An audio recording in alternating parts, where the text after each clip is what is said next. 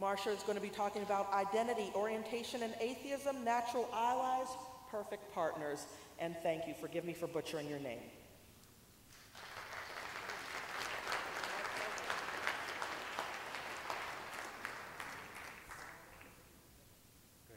What a powerful speech that last one was. I can hardly come up here. I have to calm down, goodness sakes. I thank the organizers of this fine, fine conference indeed. Oh my goodness sakes, it's been a joy so far. I also want to thank that valiant, ethical, just atheist who found my fountain pen yesterday and turned it in. Thank you very much. goodness sakes. But most of all, I thank you because you, you and I together, are the ones who are going to take all our thoughts and our hopes into the world. It is a very long time since late in the 1970s when one day I walked down a street and I visited a little newsstand at Seattle's Pike Place Market, looking through those items on the shelf, and suddenly, oh my God, my, literally, my heart. Because there on the shelf, second shelf down, was a copy of the American Atheist magazine. Goodness sakes, goodness sakes, I'd had my own battle with religion, and I could no longer accept the pain and the ordered mayhem of religion. But for the first time, pre internet, you know, in my hands was a document of education and honor and hope. I bought it instantly. And at, uh, there was a time even further back than that. Further back than that magazine moment. In 1968, another event occurred. Oh, the way of the world, I tell you. I'd left a good union job where I had learned the power of people uniting together, but I'd left that job to go to Paris for the revolution. Oh, you recall, May of 68, when workers and students and citizens and everyone gathered together and they almost changed a nation. Oh, after that great lesson and that tumult, I traveled auto stop, hitchhike around Europe, and one evening, sitting with fellow travelers, if you will, near one of the columns in Venice's San Marco Square, it was the column with the lion, and the casual talk that night during that talk, I became aware of someone speaking. Someone was saying they knew someone who knew someone who had a cousin, they think, who'd made a gender transition. Oh, my heart. These two events, that magazine moment and the Venice moment, they set me on my course because both of those events proclaimed powerful truths. I was not the only one. I was not the only one. There were others that felt as I did.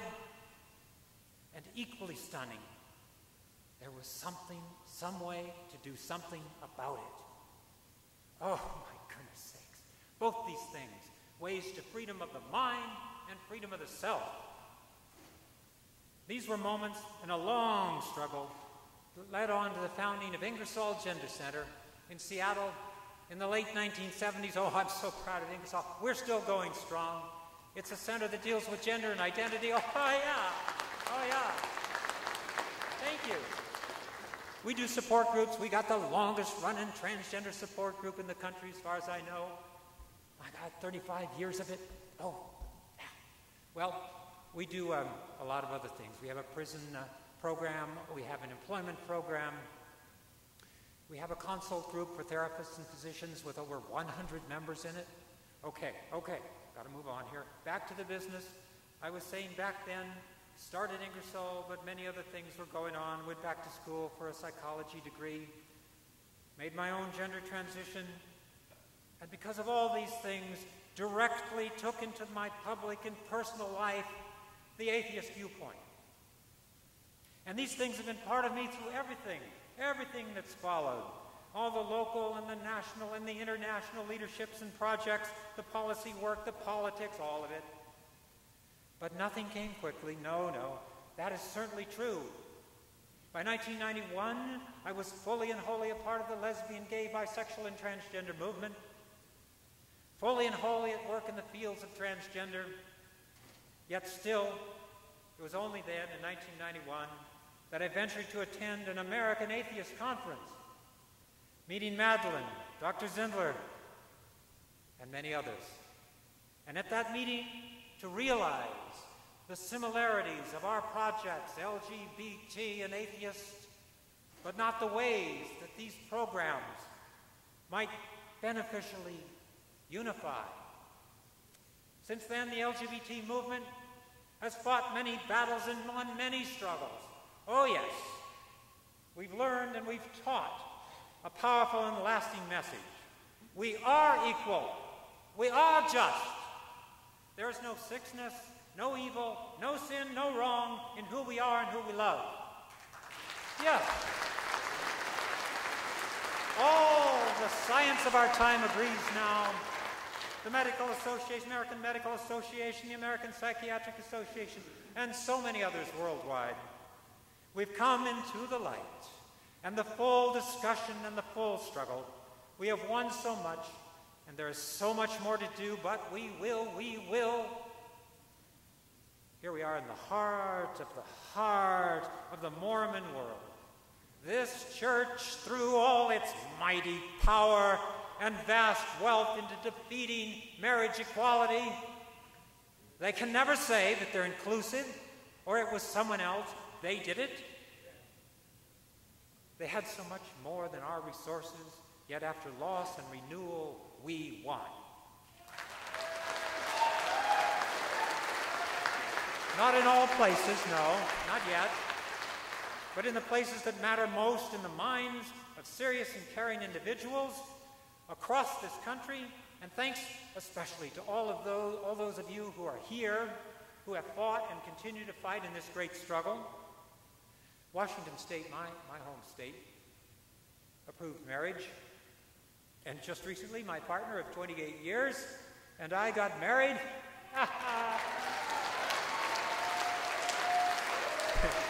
and she's happy and I'm happy. Yet, yet in all this wide and ongoing growth of the LGBT community, amid these winds, another and more troubling to me issue has risen up within our organizing. It's the place of what I will call soft religion, uh, non-oppositional religion, the place that that holds among us. Uh, many LGBT people find it more difficult to come out as an atheist once they are among so many other activist LGBT people who are welcoming of work with the churches. It's hard to do. Here is where we need your help and guidance, as is happening in this, this wonderful conference. My goodness sakes. How to have the conversations that will make the differences. Now you're going to hear from Greta Christina, Greta Christina, who has this new book, Coming Out Atheist. It's got a wonderful section on just this very topic. I urge you to this book. Yes, indeed. Goodness sakes, what a joy to have someone like that writing. Well, We've come so far.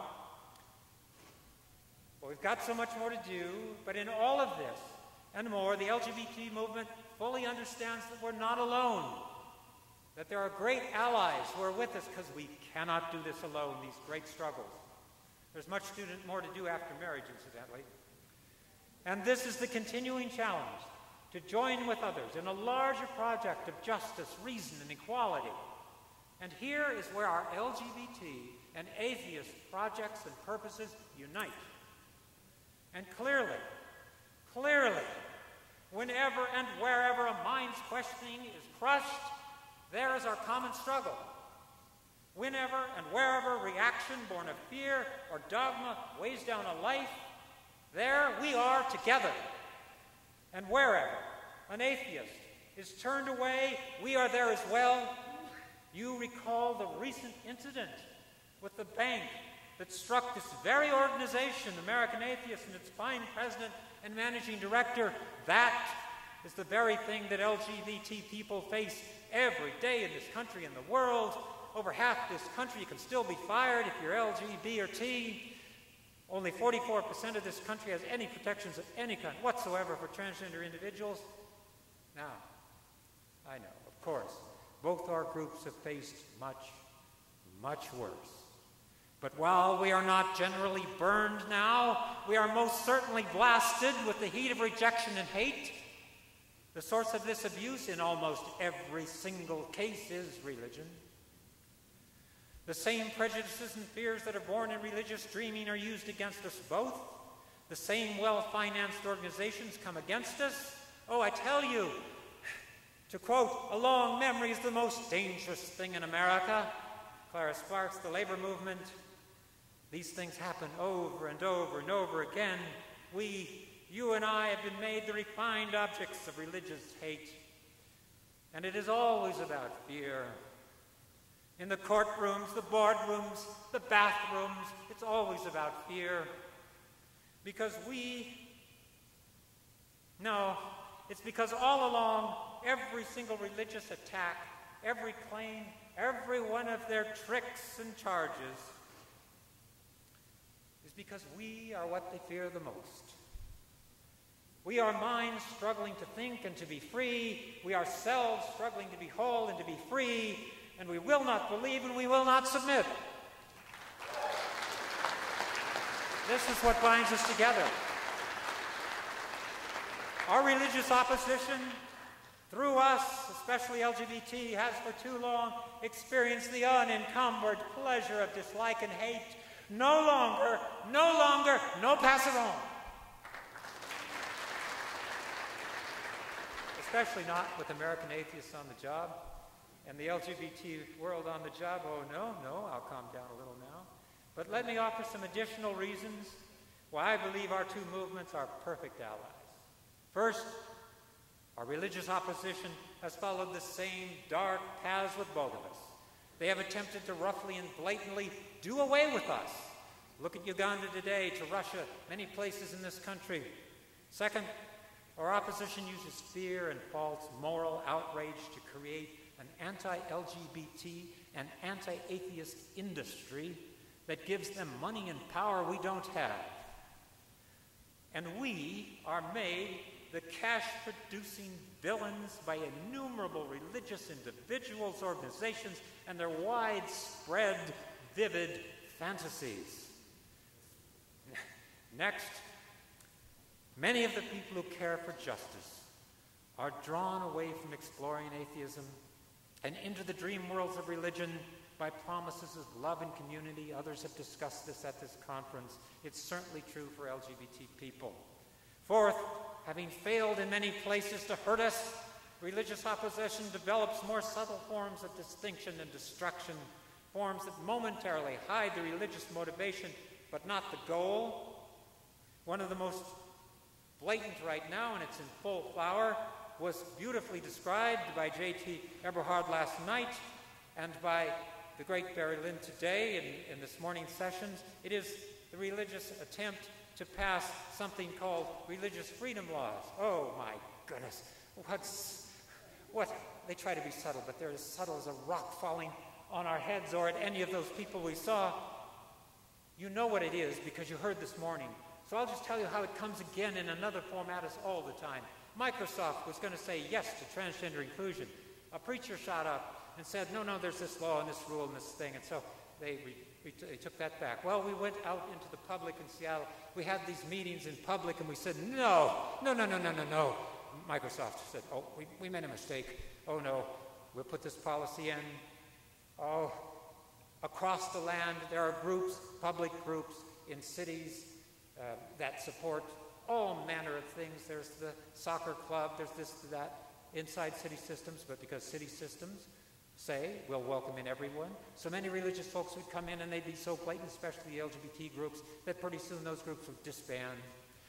Recently, went to a conference, did a little talking. You can see I like to do it uh, at, at this conference. And I looked around and said, This is one fine conference center, I must say. However, my flags were up because there's a little bit of iconography around here and there. So I went, I went through these beautiful trees to the office and I said, look, love the place. I'd like to bring an LGBT conference center here.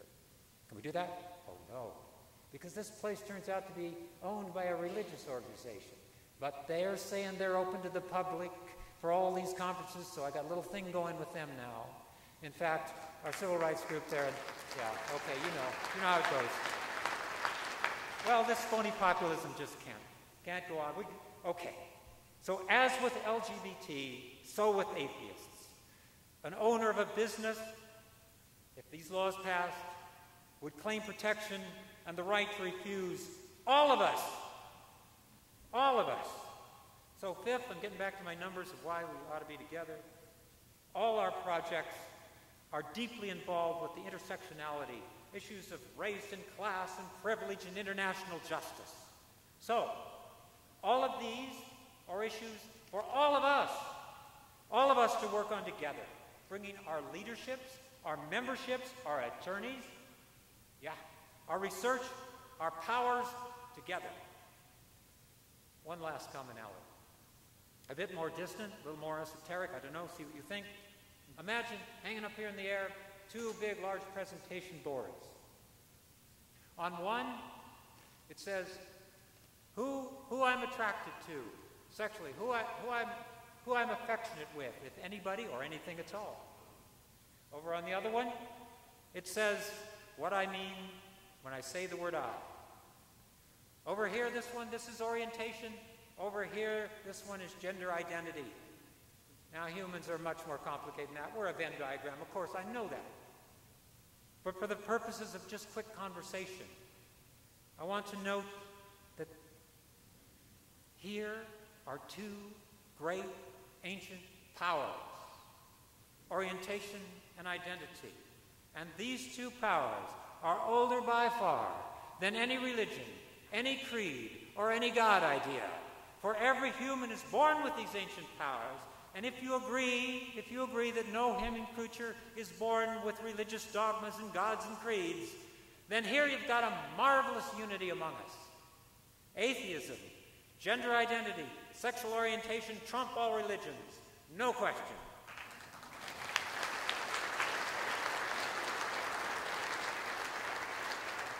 And especially when in the individual person, self searching about these issues of orientation and gender identity brings on questioning of all things, then this becomes the engine of self discovery and the rejection of religion's dreams. With all of this in common, I suggest to you that it's only a misunderstanding or unexamined fear that can keep us apart. Here's an example. Here's an example for someone who's just approaching the LGBT world. On first hearing of transgender, some individuals may not know what that is and what it is not. That's a common uh, approach to new knowledge. I know that, I know that. But the free mind will ask and will learn. The fearful mind, however, may run, may run to rejection, to dogma, to control, to fear, to talk of unnaturalness and wrong, of danger and difference. Or simply, an unworded, odd fear of body, sexuality, and identity. Now, transgender is not a disease, it's not a mental illness, it's not a sin, it's not a deranged sexuality, it's not pretending or fakery, no more than your own identity. Your own identity is a fake, thus, not at all. It's not danger. Trans people are not predatory. They're not violent. It is usually the trans person who suffers. Many are murdered every year. In fact, fear, ignorance, and transphobia take us down. You know, November 20th of every year is Transgender Day of Remembrance. All over the world. We have these memorials, we read out the names. There were over 70 names last year. 70 names. This is it every year. Such a violence. But here, transgender is the very core of personal identity. Biological to the best of current knowledge, the deepest and most ongoing sense of self, lasting throughout a lifetime. It is one of nature's realities. And consider this statement from the evidence based work of international researchers and scientists published in version 7 of the World Professional Association for Transgender Health Standards of Care, a document that's been 40 years in the making. The accepted medical and psychological guidelines for transgender health care around the world. Here's the statement Being transsexual, transgender, or gender nonconforming is a matter of diversity, not pathology. Yeah. Yes. How long have I waited for that? I joined that organization in 1984, and although trans were around, we are supposed to sit in the back of the room just listen to what's going on. Now I've been on the board of directors of that outfit, and it is evidence based now. That's a long, hard slog, but that's another story altogether. All right, once all this is known and understood, the concerns fade, the reality wakes, and we can move on together. As individuals, we begin alone, but we win together. And as organizations and movements, it's the same thing. We begin alone, singular, but we win together. This is my, my whole theme condensed. The LGBT community has learned this. We have it now. Yes, we do. We cannot win alone. We must be part of the whole. My friends, just look at the women's movement, the labor movement, the civil rights movement, schools, and every single one. They've had to learn this. They all teach that to protect ourselves, we must connect ourselves. Yes, in a grand union of intelligence, hope, and action. Now, here are three actions you can take right away. Join or support LGBT groups like the National Gay and Lesbian Task Force, and they're creating change movement. Now, I'm very, very partial to this outfit. I've been on their board for a while. The Creating Change Conference, big event, happens every year, been going for 26 years. About 3,500, 4,000 queer activists show up, 300 workshops. It's the most amazing smooth fest and adventure you can. Okay, I'd invite you to come because there are a lot of those LGBT folks there who are just begging their religions to take them back, or they have the good heart and the religion is the only place, and so on. A very interesting place for good honest conversations. Yes, indeed, it's every year. You can check us out, creatingchange.com. Or rather, take a look at the taskforce.com. I don't know my own address there. Second thing you can do, continue. And American Atheist is a leader here, but continue to welcome LGBT people into this work and teach us, educate us how atheism, atheism helps free minds and selves, identities, and orientations. Three, oh, you know this is coming. Support the transgender movement. Yes, indeed, through Ingersoll Gender Center, of course, and the many other groups that are out there now the National Center for Transgender Equality, the Transgender Law Project, the Center for Excellence in Transgender Health, the World Professional Association for Transgender Health, and many more. Do this, and we will be closer together. Our lives move on, the sun rises, and our time comes round at last. Do this, and we will create and change hearts, minds, worlds. Let your hearts beat for justice and your mind work for equality. Do this, and win, and win. On some distant sunlit future morning, you sit in peace and think back on these hard, demanding days. You will remember not just the struggles that you faced, the varied or changing life that you led, the money that your daily efforts made, but the good that you did and the unity that you created. For we are always at work, but we're also at life. And should we, you and I, meet again later on, tell me stories of your triumphs, great tales of your doings, and we will salute each other. We will cheer for the past and fight for the future, raise glasses together and smile all around for we will be full in our humanity, engaged in the business of life, worth every heartbeat and every day. Oh, my friends, thank you, thank you. I leave you with Robert Reed Ingersoll's great saying, the time to be happy is now. The place to be happy is here. And the way to be happy is to make others so. You are doing it. I thank you, my friends.